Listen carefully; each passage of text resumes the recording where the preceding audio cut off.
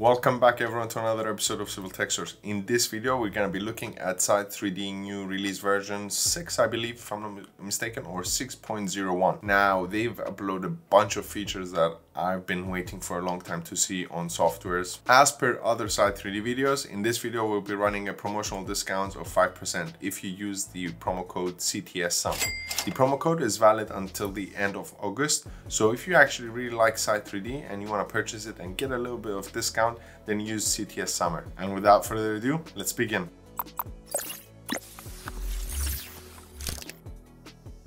So our first feature is the water flow from a certain point. The name is on the box. Basically, we click somewhere and we can see where the water would go. Now water can flow or it can crash. So it's in the spot annotation tools. And if we go to the water flow from point at cursor location, so it's the third icon, we will have to select first our surface. In our case, we're going to do the topographical survey just so we can see where our water actually flows currently. So you can see when I hover my mouse, it automatically tries to draw the polyline where it hovers, which is always nice to see on softwares where they actually update live. So there we go. So you can see here my site at the southwestern corner falls towards the northeast, but as soon as I move towards the actual south, it falls towards the east. So if I left click, you can see it creates a line and then I can just actually draw as many lines as I need to prove a point. Now, the next feature is related again with the surface, but this one is one of my favorites, let's call it hacks, because that way I can check if my site topo or the proposed one mainly if it's within the gradient ranges that I would like. So let's bring our 3D model. I've created this uh, 3D surface here. So I'm gonna go to surface and create my final surface. And you can see we've got the surface here. Okay, so now what I would like to know is whether I have any gradients that exceed the one and two. Well, I cannot just keep going using the gradient tool and on the final surface and just checking, okay, here, what is it? One in nine. Okay, from here to here, what is it? One in 10. I can, it's not efficient. So the quickest way you would do it is to usually color grade your surface based on the gradients and site 3d have introduced that so if we go right click and we go to properties and we select our final surface in the colors and the surface display uh, group box, we have this option of gradient bands. And you can see they've already preset some gradients for us. So I would keep the one in 50, 100 as bluish. And then the 180, I'll just make it green as like it passed the check mark. 1 in 20, a lime green maybe, just to be like, hey, be tiny bit wary of that. 1 in 12, orange, and the 1 in 3, yellow, to know in steep. And then anything below the 1 in 3, I'll just keep it as red. By looking at my model, you can see that these embankments are like one in less than one in three. So I'll probably have to come and fix them. So if I go to my platform design tool and in the interface, I'm going to fix this. You can see it was one in two. I'm going to make it one in 18 just so and fix. So now you can see that if I recreate the final surface and then just go properties again and colors and just do the gradients as I wish, they've reset it, but let's do the 1 and 3 as yellow and the 1 and 0 as red just to highlight it you can see they're no longer there and I would like to keep always my flat surfaces as blue because that way I can identify if I have any flat surfaces you can see here that I actually have a flattish surface here. So the FFL is pretty much flat with the footpath in the final surface. So if I bring my layers and turn off the topo model, you can see that it's relatively flat. And if we go look at the 3d there. But if i raise my finish floor over the building and then rebuild the surface then probably that should fix the issues. So now the next feature is probably uh, will be well accepted by all the resi project lovers. Oh my. So it's the plot numbering and the plot setting out table. So it's pretty straightforward. We've got the plot number. So when we click on it, we can set a prefix and the number or name. So we're gonna do number one. So I can do plot one, plot two, three, four, five, six, seven. You can see I already run the command once. And then if I wanna do the garages, so G, and then I start one again for garage one, uh, it would be garage 2 that would be garage 6 so i just can type here 6 because it would have followed 4 so here is 7 so i'll click 7 8 and then when i click on the add building pad setting out table it shows you the extent of the table. And if i click on it you can see garage 1 garage 2 garage 3 and in the brackets is the actual name type. So if we go to the house type manager you can see i've got garage and garage 2 so it's like for single or double and then we've got the house types h414 now you can see it adds some id points a b c with the eastings and northings. So if i go to plot 1 you can see now in plot 1 it has some three points a b and c which is great. And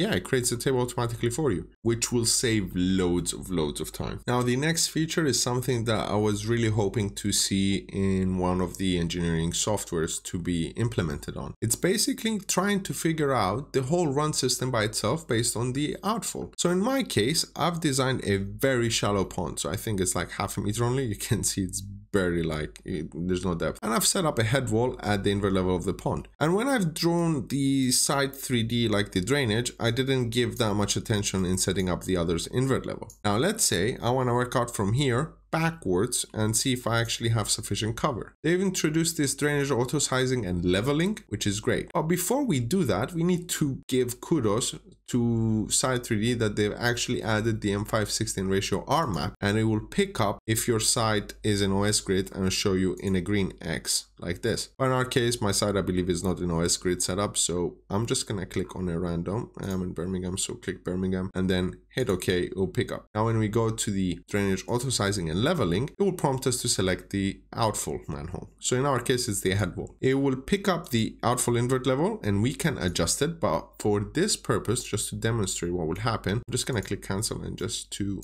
rotate the zoom just so we can pick up the changes. There we go, perfect. Now when I select the last manhole, I can adjust the maximum gradient, desired minimum cover if I have to, the pond head wall, it, we will do it pond base level. And then we have some auto sizing features. So you can see we can have the minimum diameter for private and for adopted. And also the sizing style, basically we can set it to increase only. So if you fiddled around the pipe diameters and have adjusted some and you just want to double check the sizing, you can have it to increase only without them starting at the minimum diameter and doing it all over again. So if it's 150 and you already had it at 300, then it will not change it when you have the increase only option. Then we have the design storm settings and you can click on the map here and access it again. And also we have the return period, duration and summer for the auto sizing because all this right hand column is for the auto sizing. We're gonna do winter and we're gonna do 15 for the 100 year. I know we don't usually do that. It's the simulation that we run it, but for the sake of this video, let's do it. So if I hit OK, now you will see a few things. A information message box appears and says try an invert level of 14.2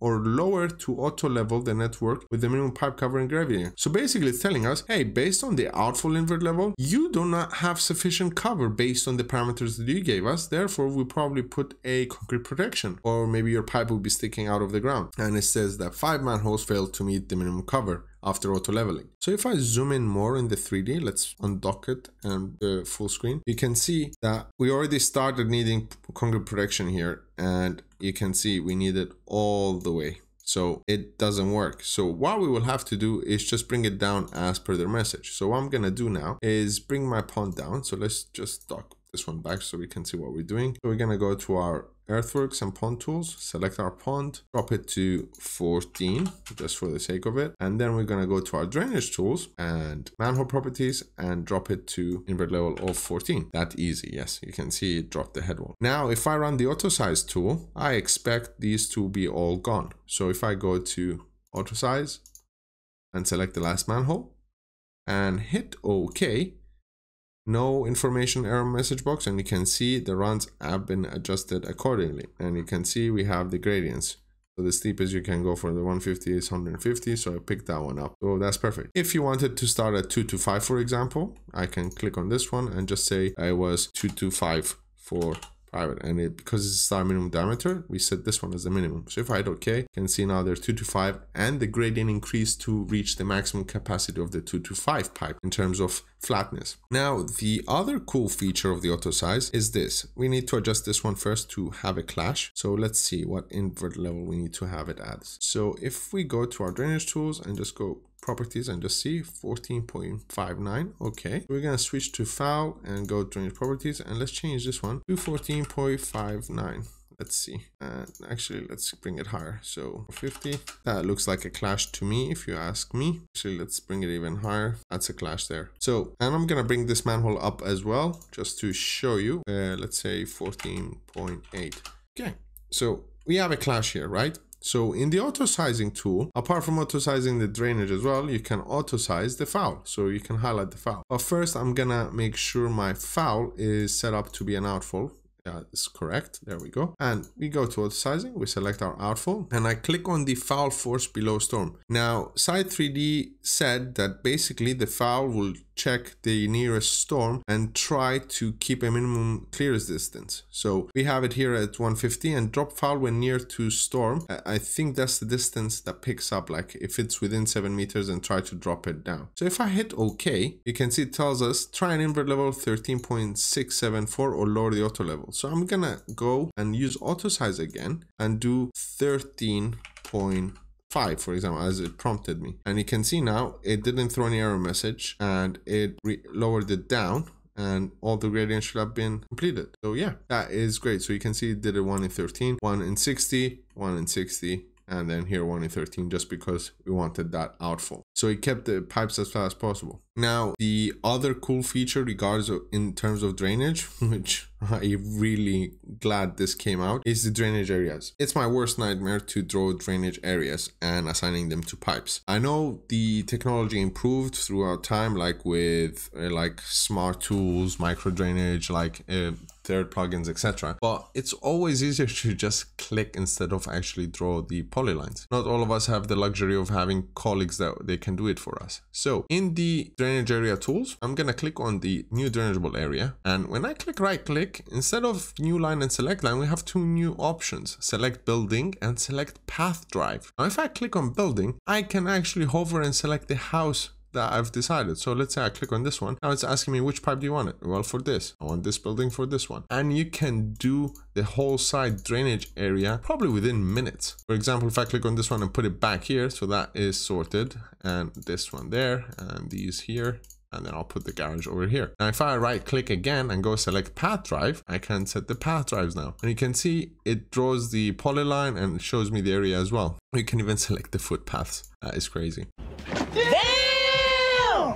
Now, I would love to see also to select road section. So basically, you know how we do the curb tools. So we can basically tell them that's the start chainage and end chainage. A similar option maybe for the drainage area tools, we select the road and we tell that that's the start point of the area till the end. Because once we click the gullies to show the gullies in the road, then we know that these gullies pick up basically everything from here all the way to here. So that would be a cool feature to see in the next update if Site 3D is watching this video. I hope you find this uh, video useful and if you actually would like to purchase the Site 3D, don't forget to use the CTS summer promo code to get a 5% discount. So drop a like if you like the video, subscribe if you'd like to see more content, and I'll see you in the next video.